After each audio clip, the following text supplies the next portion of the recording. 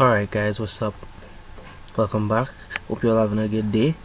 Um, this is ITEC 360. I am Jeremy Ramluchan and today we will be talking about Orange Book controls. And as you know most of my information will be taken from the CISSP prep guide. So if you have that please make sure to follow along. Now let's get right into it. Okay, so first off, what is the Orange Book? Well, the Orange Book is one of the National Security Agency's rainbow series of books on evaluating trusted computer systems. This actually is the main book in the Rainbow series and defines the Trusted Computer System Evaluation Criteria or TCSEC. And the TCSEC outlines hierarchical degrees of security with the letter D being the least secure through E for the most secure. The Orange Book also identifies assurance requirements for secure computer operations applied to ensure that a trusted computing base's security policy has been correctly employed and that the system security features have effectively implemented that policy. Now, in the Orange Book, it defines two types of assurance operational assurance and lifecycle assurance.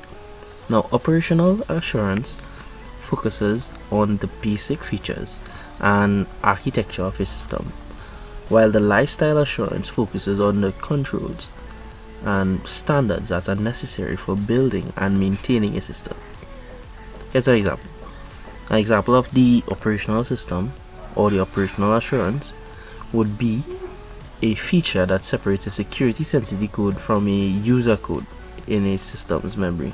As per the operational assurance, there are requirements specified in the Orange Book, which are system architecture, system integrity, covert channel analysis, trusted facility management, and trusted recovery.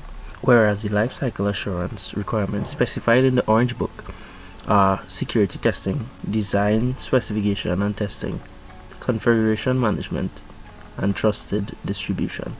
And so, with that being said, we first need to talk about covert channel analysis.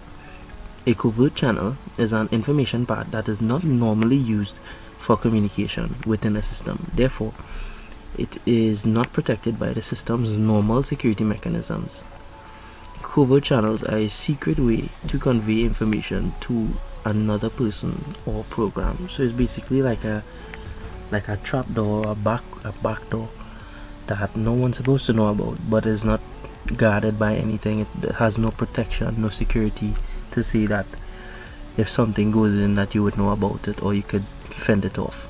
There are two types of covert channels. Covert storage channels which convey information by changing a system's stored data and covert timing channels which convey information by altering the performance of or modifying the timing of a system resource in some measurable way. Covert storage channeling. This is a system feature and it enables one system entity to signal information to another entity by directly or indirectly writing a storage location that is again later directly or indirectly read by the second entity. And it usually involves a finite resource such as the sectors on a disk that is separated by two subjects at a different security level and here's an example of covert storage channels, which is as simple as just changing the characteristics of a file. And covert timing channel, which is also a system feature, which enables one system entity to signal information to another by modulating its its own use of a system resource in such a way to affect system response time observed by the second entity. Timing channels often work by taking advantage of some kind of system clock or timing device in a system and uh, its information is conveyed by using elements such as the elapsed time required to perform an operation or even the amount of CPU time expended. Just want to throw this in here. Noise and traffic generation are effective ways to combat the use of covert channels if needed. So next up we have to talk about uh, trusted facility management and this is defined as the assignment of a specific individual to administer the security related functions of a system. And although trusted facility management is an assurance requirement only for higher secure systems, well, of class B2, B3, and A1, um, many systems evaluated at lower security levels are structured to try to meet this requirement. So it's, it's all it's like an all-round thing. Uh, trusted facility management is closely related to the concept of least privilege and it is also related to the administrative concept of separation of duties and need to know and so I mentioned classes B2 B3 and A1 in the B2 class the system must protect against covert storage channels it must perform a covert channel analysis for all covert storage channels and the system requires that it must support separate operator and system administrator roles. And in the classes B3 and A1, the system must protect against both covert storage and covert timing channels. It must perform a covert channel analysis for both types. And the system requires that it must clearly identify the functions of the security administrator to perform the security related functions. So the concept of least privilege, or as it's known, the principle of least privilege, requires that in a particular abstraction layer of a computing environment, every module must be able to access only the information and resources that are necessary for its legitimate purpose. This means giving a user account or process only those privileges which are essential to perform its intended function for example, a user account for the sole purpose of creating backups, right, does not need to install software. So it only has the rights to run backup and backup related applications. Any other privileges, such as installing new software, are blocked. As I said earlier, trusted facility management is related to the administrative concept of separation of duties and need to know. Separation of duties or SOD which is also known as the segregation of duties, assigns parts of tasks to different personnel.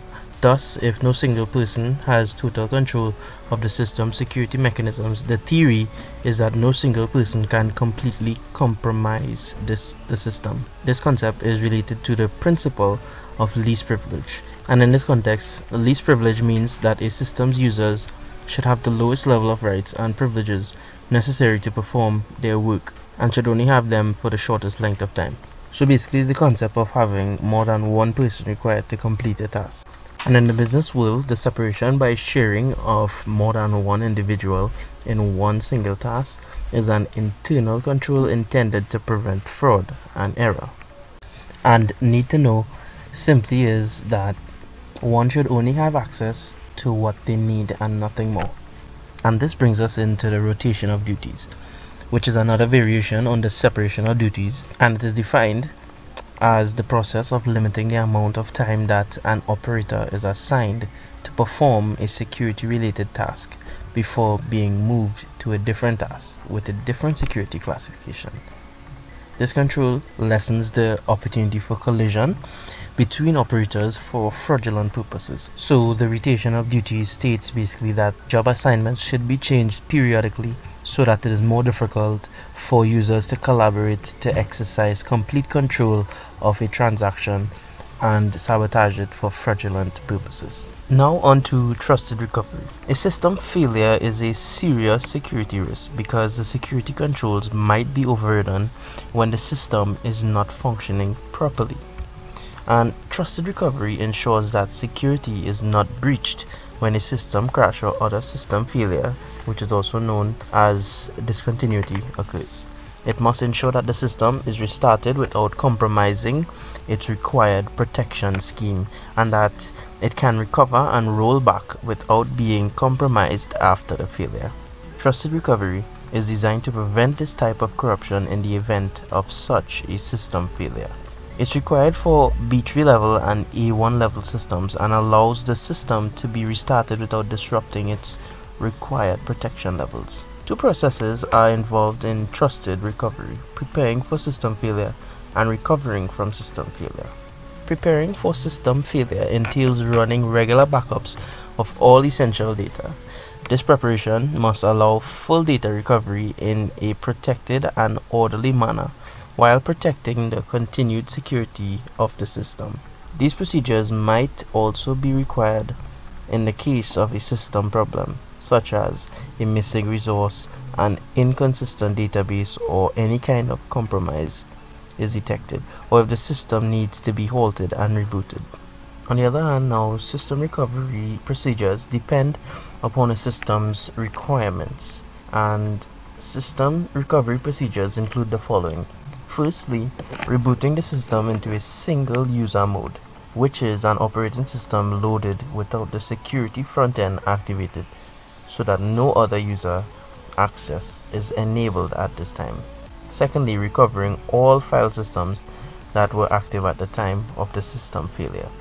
Thirdly, restoring any missing or damaged files and databases from the most recent backups. Fourthly, recovering the required security characteristics such as file security labels. And fifthly, checking security critical files such as the system password file. And after all these steps have been performed and the system's data cannot be compromised, operators can then access the system. And there are actually three recovery types manual recovery, automated recovery, and automated recovery without undue loss. With manual recovery, the system administrator intervention is required to return the system to a secure state after a crash. Automated recovery, as you could already tell, is recovery to a secure state where it's being done automatically or without the intervention of the administrator. And automated recovery without undue loss is similar to automated recovery. This type of recovery is considered a higher level of recovery defining prevention against the undue loss of protected objects.